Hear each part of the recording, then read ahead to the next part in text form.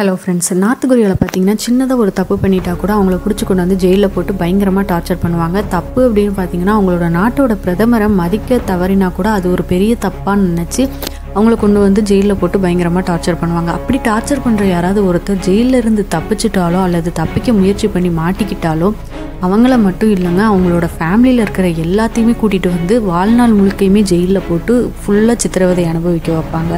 இந்த மாதிரி இருக்கிற ஒரு கண்ட்ரியில் யாருக்கு தான் இருக்க பிடிக்கும்? ஸோ இதனால் வந்து இந்த கண்ட்ரிலேருந்து தப்பிக்க எப்படியெல்லாம் முயற்சி பண்ணியிருக்காங்க? அதுக்கு பெஸ்ட்டு வேஸ்லாம் என்னென்னலாம் இருக்குது அப்படின்றத தான் இந்த வீடியோவில் பார்க்க போகிறோம் வீடியோக்குள்ளே போகிறதுக்கு முன்னாடி நீங்கள் நம்ம சேனலை சப்ஸ்கிரைப் பண்ணாமல் இருந்தீங்கன்னா மறக்காமல் சப்ஸ்கிரைப் பண்ணிடுங்க நார்த் கொரியாவிலேருந்து தப்பிக்கிற மக்கள் எல்லாருமே வந்து பார்த்திங்கன்னா சவுத் கொரியாவுக்கு போகணும்னு தான் ஆசைப்படுவாங்க. இது எதனாலன்னு வந்து பார்த்திங்கன்னா சவுத் கொரியா கவர்மெண்ட் வந்து எப்போ நார்த் கொரியாவிலேருந்து மக்கள் வந்து சவுத் கொரியாக்குள்ளே என்ட்ரானாலுமே அவங்களுக்கு வந்து எங்கள் நாட்டோட சிட்டிசன்ஷிப் வந்து கொடுப்போம் அப்படின்றத வந்து அனௌன்ஸ் பண்ணியிருக்காங்க. இதனாலேயே வந்து மக்கள் எல்லாருமே வந்து சவுத் கொரியாவுக்கு போகிறதுக்கு தான் வந்து ஆசைப்படுவாங்க. இந்த சவுத் கொரியாவுக்கு போகணும் அப்படின்னா ரொம்பவுமே ஈஸியான ஒரு டிஸ்டன்ஸ் இருக்கிற ஒரு வே அப்படின்னு பார்த்தீங்கன்னா டிஎம்ஜி பார்டர் இதுதான் வந்து நார்த் கொரியாவுக்கும் சவுத் கொரியாவுக்கும் இருக்கிற ஒரு கம்மியான டிஸ்டன்ஸ் இருக்கிற ஒரு பார்டர் ஆனால் இங்கே வந்து பார்த்திங்கன்னா செக்யூரிட்டி பயங்கர டைட்டாக இருக்கும். இங்கே யாராவது ஒரு ஆள் வந்து அந்த பக்கம் இருந்து நார்த் கொரியாவுக்குள்ளே என்ட்ரு ஆனாலோ இல்லை தப்பிச்சு போகணும்னு முயற்சி பண்ணாலோ வே வேறு யாராவது ஒரு ஆளை பார்த்துட்டாலே வந்து சுட்டு தள்ளிடணும். அந்த அளவுக்கு வந்து அங்கே இருக்கிற மிலிட்ரிக்கு வந்து பர்மிஷன் வந்து கொடுத்துருக்காங்க. ஸோ இதையும் மீறி ரெண்டாயிரத்தி பதினேழில் ஒருத்தர் அவரோட காரை எடுத்துட்டு அந்த பார்டரை தாண்டணும் அப்படின்றதுக்காக முயற்சி பண்ணியிருந்திருக்காரு. அப்போ மாட்டவும் செஞ்சுட்டாரு. அப்போ அவரோட உடம்புல வந்து பார்த்திங்கன்னா அஞ்சு புல்லட்டையுமே வந்து அந்த சோல்ஜர்ஸ் வந்து சுட்டுட்டாங்க.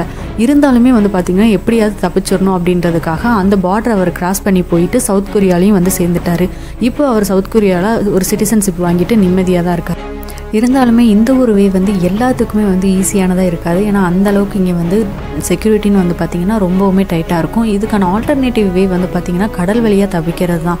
ஸோ நார்த் கொரியாவோட ஈஸ்ட் அண்ட் வெஸ்ட்டில் வந்து பார்த்திங்கன்னா ஃபுல்லாமே வந்து கடலால் தான் சொல்லப்பட்டிருக்கும் ஸோ இந்த கடல் வழியை யூஸ் பண்ணி தப்பிச்சாங்க அப்படின்னாலுமே ஈஸியாக வந்து சவுத் கொரியாவுக்கு வந்து போயிடலாம் ஆனாலுமே அதுவுமே வந்து ரொம்பவுமே ஈஸியான டாஸ்க் கிடையாது. அதுவுமே ரொம்ப கஷ்டமான டாஸ்க் தான். எதனால வந்து பார்த்திங்கன்னா அவங்களோட கப்பல் வந்து பார்த்திங்கன்னா நார்த் கொரி நார்த் கொரியாவோட கப்பல் வந்து எப்போவுமே ரோந்து பணியில் ஈடுபட்டுகிட்டே தான் இருக்கும். அது கண்ணிலையும் மாட்டாமல் தப்பிச்சா மட்டும்தான் அவங்களால வந்து நார்த் கொரியாவிலேருந்து சவுத் கொரியாவுக்கு கடல் வழி மூலியமாக தப்பிச்சு போக முடியும்.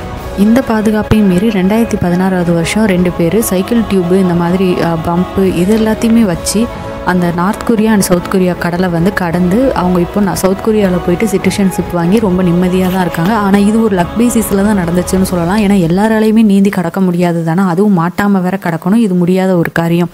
ஸோ இதுக்கான அடுத்தவே வந்து பார்த்திங்கன்னா நார்த் கொரியாவில் நார்த் சைடில் இருக்கிற கண்ட்ரீஸ்க்கு தப்பிச்சு போகிறது தான். இதே மாதிரி நம்ம நார்த் கொரியாவிலேருந்து ஜப்பானுக்கும் வந்து கடல் வழியாக தப்பிச்சு போகலாம். ஆனால் அது அங்கே தப்பிக்கிறது அப்படின்றது ரொம்பவுமே கஷ்டமான வே ஏன்னா ஜப்பானோட கடலில் வந்து பார்த்திங்கன்னா அடிக்கடி நிறைய புயல்கள்லாம் உருவாகிட்டே இருக்கும். அங்கே வந்து ஒரு போட் இல்லாமல் தப்பிக்கிறதுன்றது ரொம்பவுமே முடியாத காரியம். இதையும் மீறி ரெண்டாயிரத்தி பதினேழில் ஒரு மூணு பேர் வந்து அங்கேருந்து ஜப்பானுக்கு தப்பிச்சு போய் இப்போ அங்கே ஜாலியாக தான் இருக்காங்க. அதுக்கு அடுத்தபடியாக வந்து பார்த்திங்கன்னா நார்த் சைடில் பார்டரை ஷேர் பண்ணுற சைனா அப்புறம் ரஷ்யா தான். ஸோ இந்த சைனா அண்ட் ரஷ்யாக்குள்ளே இருக்கிற மிகப்பெரிய சிக்கல் என்னன்னு பார்த்தீங்கன்னா இந்த ரெண்டு கண்ட்ரிக்குள்ளேயுமே வந்து நார்த் கொரியன்ஸ் யாராவது போனாங்கன்னா அவங்கள பிடிச்சி கொண்டு வந்து திரும்பவுமே வந்து அவங்களோட கண்ட்ரீஸ்லேயே நார்த் கொரியாலேயே வந்து விட்டுருவாங்க. இதுலேருந்து தப்பிக்கிறதுக்கு ஒரே ஒரு வழி வந்து பார்த்திங்க அப்படின்னா அங்கே இருக்கிற சைனா அண்டு ரஷ்யாவில் இருக்கிற ரெண்டு இடத்துலையுமே இருக்கிற சவுத் கொரியாவோட சவுத் கொரியன் எம்பசிக்கு போனால் மட்டும்தான் அவங்களால தப்பிக்க முடியும். ஆனால் இதுவுமே ரொம்ப கஷ்டமான வே ஏன்னா அங்கேருந்து தப்பிச்சு போகிறவங்க அங்கே போயிட்டு எங்கே இருக்குது இதெல்லாம் அப்படின்றது தேடுறதுன்றது ரொம்பவுமே கஷ்டமான வழி தான் நார்த் கொரியாவுக்கும் ரஷ்யாவுக்கும் இருக்கிற பார்டர் வந்து பார்த்தீங்கன்னா வெறும் பதினேழு கிலோமீட்டர் தான். அதனால் இது ஈஸியாக கடந்துடலாம் கடந்தாலுமே வந்து அங்கே இருக்கிற மிலிட்ரிகிட்ட மாட்டிட்டாங்கன்னா அவங்க திரும்பவுமே நார்த் கொரியாவுக்கு அனுப்பிச்சி வச்சுருவாங்க. இதுக்கு பேசாமல் அவங்க இங்கேயே இருந்திருக்கலாம். அதே மாதிரி சைனாவுக்கும் நார்த் கொரியாவுக்கும் வந்து பார்த்திங்கன்னா பார்டர் டிஸ்டன்ஸ் வந்து பார்த்திங்கன்னா ஆயிரம் கிலோமீட்டருக்கும் மேலே இருக்கும்.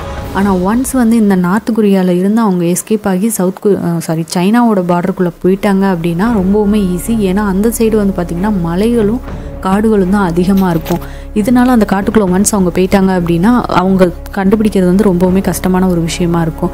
இதே மாதிரி ரெண்டாயிரத்தி ஏழாவது வருஷம் ஒரு அம்மாவும் பொண்ணும் வந்து நார்த் கொரியாலேருந்து சைனாக்கு தப்பிச்சு போய் இப்போ அவங்க ரெண்டு பேருமே வந்து ரொம்பவுமே வந்து நிம்மதியாக வந்து வாழ்ந்துட்டுருக்காங்க ஒரு வாழ்க்கையை வந்து வாழ்ந்துட்டுருக்காங்க ஏன்னா சைனாவில் வந்து பார்த்திங்கன்னா புரோக்கர்ஸ் வந்து அதிகம் ஃபாரின் புரோக்கர்ஸ் வந்து அதிகம். அவங்கக்கிட்ட வந்து கொஞ்சம் அமௌண்ட் இல்லை நிறைய லட்சக்கணக்கில் அமௌண்ட் கொடுத்தாங்க அப்படின்னா அவங்க வந்து மற்ற கண்ட்ரீஸ்க்கு வந்து பாஸ்போர்ட் எடுத்து ரெடி பண்ணி கொடுத்து அவங்கள அனுப்பிச்சி வச்சுருவாங்க. ஸோ இந்த மாதிரி தான் வந்து ரெண்டாயிரத்தி பதினேழு ரெண்டாயிரத்தி ஏழாவது வருஷம் தப்பிச்ச ஒரு அம்மாவும் பொண்ணு இப்போ வந்து நிம்மதியாக இருக்காங்க. அந்த பொண்ணு வந்து பார்த்திங்கன்னா ஒரு யூடியூப் சேனல் ரன் பண்ணி இப்போ இன்னுமே சந்தோஷமாக வந்து வாழ்ந்துட்டுருக்காங்க